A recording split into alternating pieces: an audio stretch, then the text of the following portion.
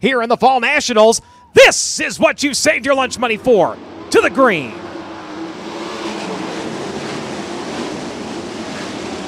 Field going to race off into turns one and two. Right now, battle at the front of the field between Cummins and Danner. Danner turning it down under the before the race lead as we've got one flipping wildly on the back straightaway. Two cars end up collected. Red lights come on. It's like CJ Leary and Saban Bibent, the two drivers, coming to a rest on the back straightaway, but Leary didn't see how it started. Just all of a sudden, the car flipping violently end over end.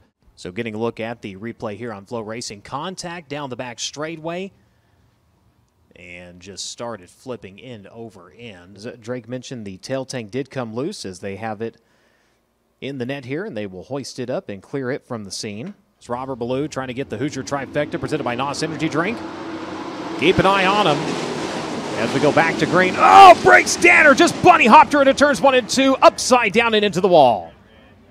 Clean start, races it in, and unfortunately, she gets to hopping, and the concrete's what brings it to a stop. But he is up and out of the car, race fans.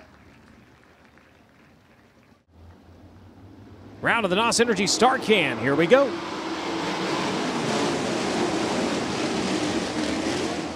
Logan Seavey going to throw caution to the wind on the high side, entering turn number one. It's going to pay off onto the back straightaway, able to turn to the inside of the Avanti Windows the doors number three, moves up into second. They are going to chase the 19 around here on lap number one.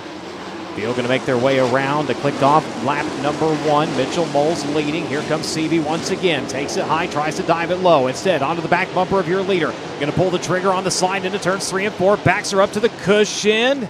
Takes a little bit of a grab on it. Thought it was going to turn the car, but he comes around to lead the way. Logan Seavey leads lap number two. Mitchel Moles trying back to his inside, not able to get the run. Mitchel Moles still running in that second spot. Daison Pursley running in third and trying to reel him in. As your leader continues to quickly put away lap cars, he has gone by the 76 of J.J. Hughes. Hughes currently being shown in the 13th position. Clears the 2X. He is lapped up to 11th. Battle for second. Daison Pursley closing up on Mitchel Moles this time into turns three and four. Going to thread to the middle. Can't carry enough momentum to get by. Goes right back into the tire tracks of the 19. Both drivers working by the 3R. Kevin Thomas Jr. once again. Pursley takes it up over the cushion on the entry of one. Has to wait in the car at the exit to number two. Kind of gets caught in the middle there. See the rear end kind of raise up and then settle back in about midpoint of the back straightaway. The left rear is the only thing holding him on the cushion over in turns three and four. As they continue to jockey through slower traffic, the race for second is high speed chess right now. And so far, the driver making the right moves is Mitchel Moles. Pursley still there, stalking those. They work around to the front side of the speedway. Has not been enough to allow Kyle Cummins to try to close in and see if he can contend for it, though, as he rides about a straightaway back from that battle.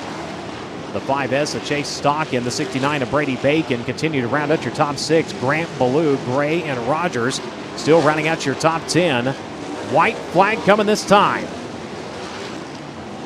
As he will have clean racetrack in front of him for the time being. He'll work off a turn number four. The lab coat's going to fly. Finding turns one and two for the final time. The Mesilla Valley Transportation, Mountain Mechanical Contractors, Abacus Racing number 57 going to roll into turns three and four. And for the 14th time this season with the USAC AMSOIL Sprint Car National Championship, Logan Seavey's going to victory lane, and he will claim a $20,000 payday here in the Fall Nationals.